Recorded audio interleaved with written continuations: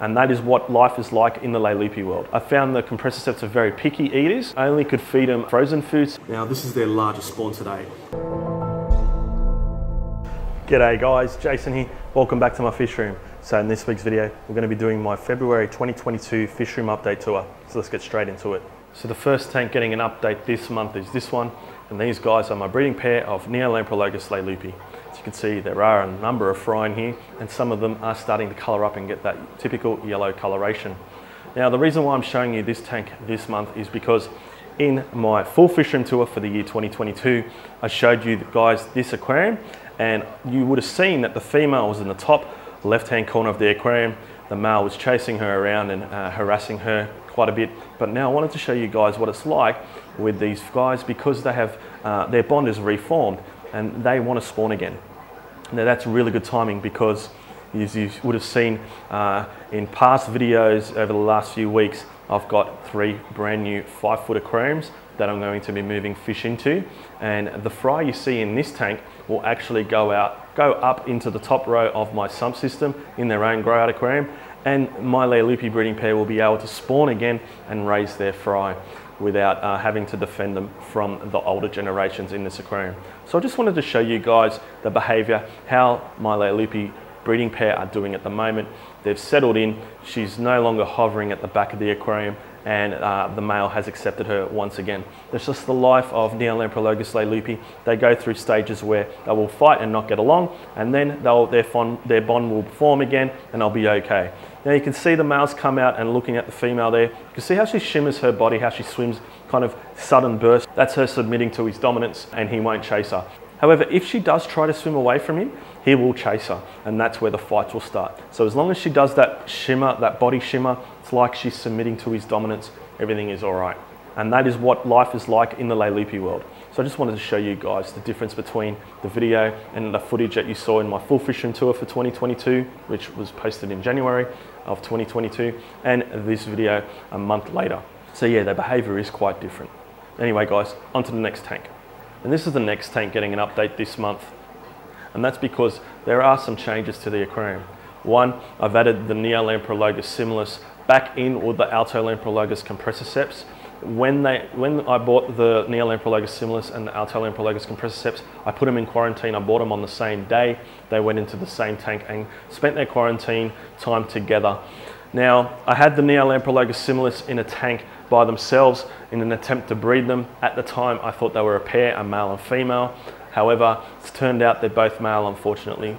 Now, because they weren't doing anything in that aquarium, I decided to move them out, move some fry into the aquarium that they were in, and move them back in with my Altolamprologus compressiceps. And the reason for moving the similis in this aquarium is because I basically had nowhere else to put the similis, and I know that they do okay with the Altolamprologus compressiceps for the time being. My compressiceps aren't large, they're still uh, growing, they're basically still fry, re realistically they're still fry, and uh, the similis are exactly the same size as my compressiceps. Uh, if the compressiceps are fully grown, I probably wouldn't have put shell-dwelling cichlids in with them. The other reason is I wanted more dither fish in this aquarium to help bring out the compressiceps. If you've seen on my past videos with this aquarium, I added the Ventralis tritica to this aquarium to hopefully bring out the Altolamprologus compressiceps more. They, the compressiceps are very shy fish. They tend to stick to the back of the aquarium. And I said to you guys, I've added the Ventralis tritica to bring out the compressiceps. Basically, the compressiceps, they would see that there's no fish in the aquarium. If there was no other fish in the aquarium, they would think that there are predators about and they would be inclined to hide more. When they see fish in the aquarium with them, they will feel more at ease and would think that there's no predators around that will make them feel a little bit more comfortable and they'll be more inclined to come out into the open. Now over the last two to three weeks, basically since I did my full fish room tour video for 2022, I have noticed a change in behavior. In that video, I did mention that I wasn't seeing the compressor compressiceps as much as I expected by, by now because the Ventralis tritica had been in this aquarium for uh, about a month and a half at that point uh, maybe two months. So I did expect to see the Altolamprologus compressiceps more by then. And in that video I said uh, that they, they really are still hiding, uh, although they were coming out a little bit. Now, however, since my full fishing tour, I see the Altolamprologus compressiceps a whole lot more. see basically there are two on video right now that pretty much the entire time. And the largest one, unfortunately, is hiding again basically because I've got the camera right in front of this aquarium. However, I do see the largest one a lot more now. So I'm really pleased with how this aquarium has gone. Adding dither fish to this tank really has helped make the Altolamprologus compressiceps feel at ease. They feel way more comfortable than they did when they were in this tank by themselves. And they're actually also eating better. The Ventralis Chioteca, they're very aggressive eaters. They, they, they're always in there first, picking off whatever food I put in the aquarium. And that just creates like a feeding frenzy in the tank, prompting the Altolamprologus compressiceps to also in, get in on the feast.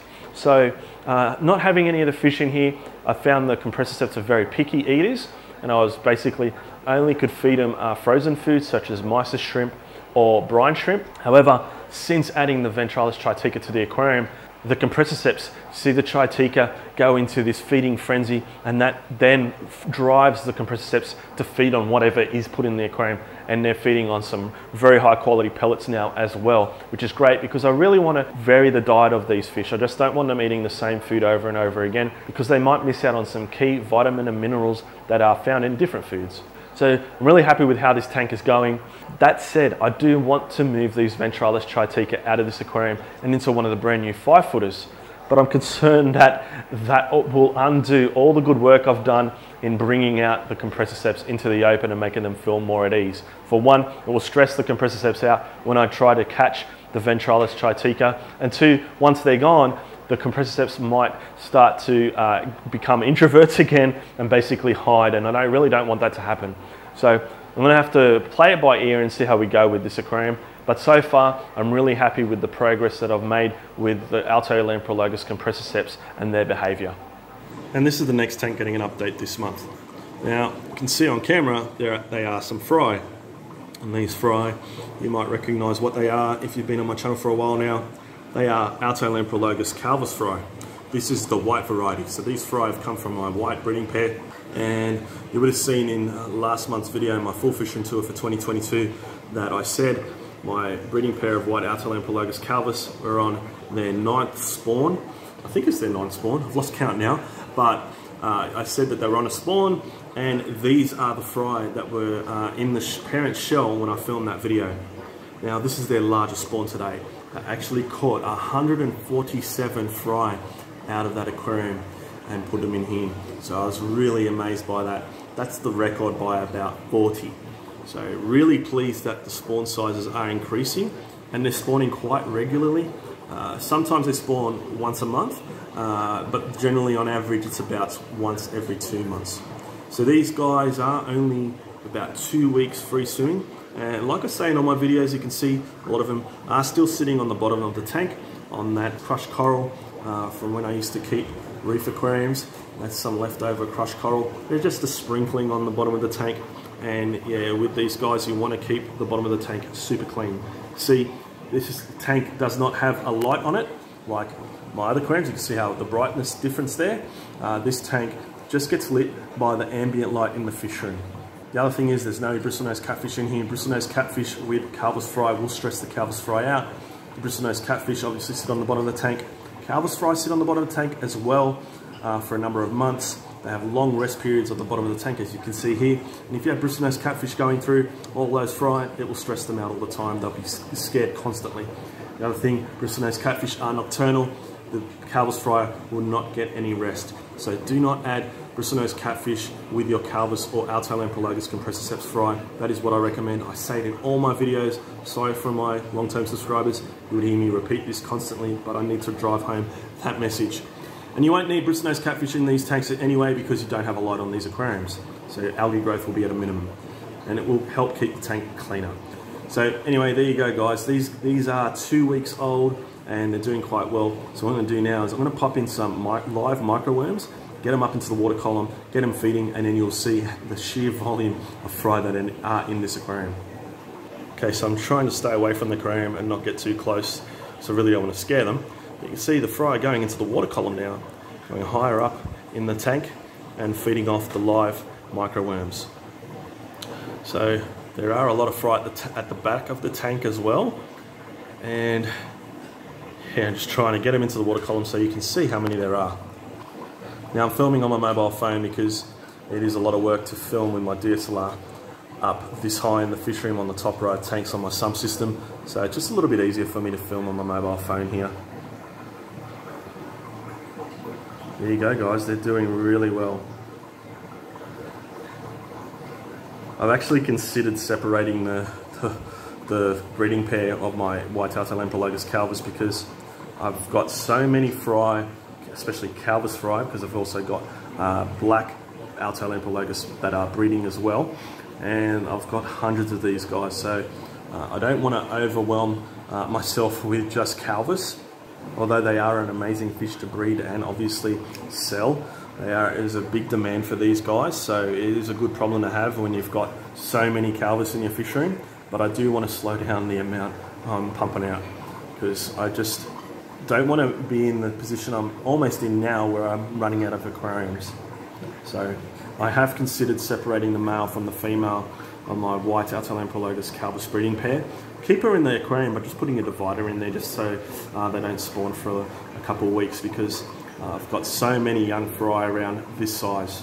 But yeah, again, good problem to have. There you go guys, my white Altolamprologus calvus fry, the youngest spawn I have in the fish room. 147 of them. So there you have it guys, my February 2022 fish room update tour. I really hope you enjoyed that video. If you did, please give me a thumbs up, comment and consider subscribing to the channel. I really would appreciate it. All right, guys, I'm going to wrap this video up now. Thanks heaps for watching, and I'll catch you in the next one. Bye.